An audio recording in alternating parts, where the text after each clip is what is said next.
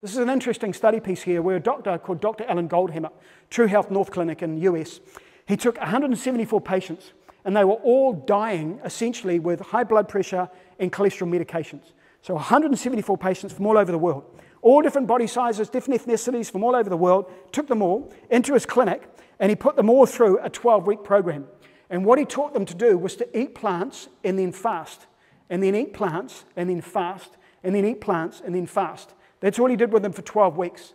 Now, after 12 weeks, out of the 174 patients, all of whom went in there after being told by their own doctors that they were dying of heart disease and they would never get off their medications and they were in serious trouble, do you know what the percentage was of people out of 174 that were off all medication and had reversed their high blood pressure? Do you know how many it was as a percentage? 100%.